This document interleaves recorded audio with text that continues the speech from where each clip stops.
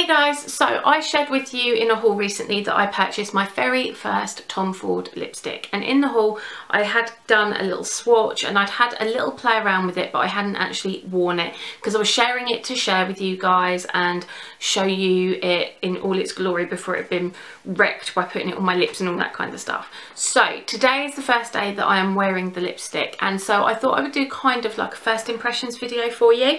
I've not done one of these before so I thought it might be something just a little little bit fun and a little bit interesting. So the lipstick that I got was one of the original Tom Fords and this is just the lip colour in number 17 and it's Violet Fatale. And as I said, it is the lip colour that I've got on now. Um, these are pricey, these are £34, so they are not your average lipstick and it has taken me a long, long time to come to grips with the fact that I wanted to purchase one. But having tried the eyeshadows and one of the blushes and fallen so in love with them and seeing the quality I felt a little bit safer in giving it a go um, also, I would like to just point out that I filmed my haul yesterday and I swatched it on my hand and I've had a bath last night and I had a shower this morning and the swatch, you can still just see the stain there on my hand. So I think this little booger is going to be pretty damn long lasting. So that's the first thing. I think it's going to be really long lasting. So for £34, maybe it will be worth the money. Right, so packaging wise, absolutely gorgeous it feels heavy it feels classy um, it's got a really nice clasp on it so you know it's nice and secure if it's knocking around in your handbag it's not gonna fly off and get ruined in a heartbeat I said as well in my video, I think it looks like old Chanel packaging almost, like the little bottles of Chanel number five that they used to do, the little pumps. I think they still do those. Anyway, this is the shade that I got, and this is Violet Fatale, as I said. Let's do another little swatchy swatchy to show you. Now, it is really, really creamy. It feels moisturising. My lips don't feel dry. They don't feel heavy. They just feel really nicely comfortable. They don't feel like greasy or slicky almost either, like some lipsticks. It's like, um, what is it? Hue from MAC. If I put that on, it just makes my lips feel greasy, which is really random, I know. Um, I don't get it with any of the other colours. It is just Hue, so really weird. But with this, I don't have that feeling at all. Just going to put a little bit more on. So you can see. It almost feels more like a gel rather than a cream or a lipstick. It just feels really comfortable, really nice.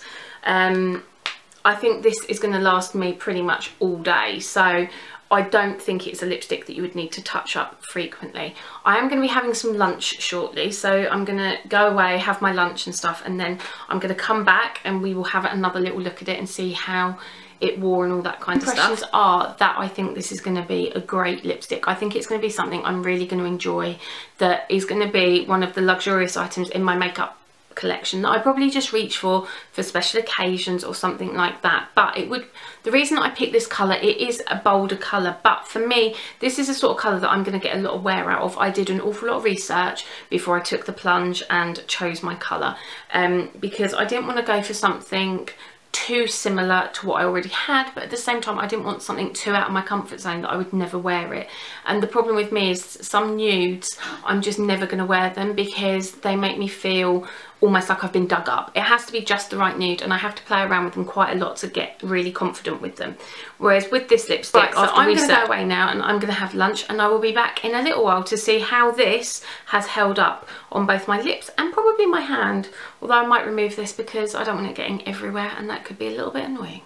Anyway, hey I'll guys, see you soon. So I am back. It has been two hours and one lunch later. So you can see it's definitely left a little bit of a stain on my lips. They don't feel dry or anything. They just feel pretty normal, pretty lip-like.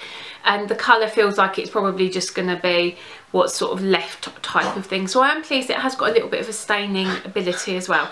And for my lunch I had yummy noodles. So I think that was a pretty hardcore sort of like test on it. So all being said, do I think these lipsticks are worth £34? Am I impressed? In all honesty, they're a little piece of luxury and they're not something that I'm going to rush out and collect all of them. But if there was another colour that I liked, I would take the plunge because it feels really beautiful.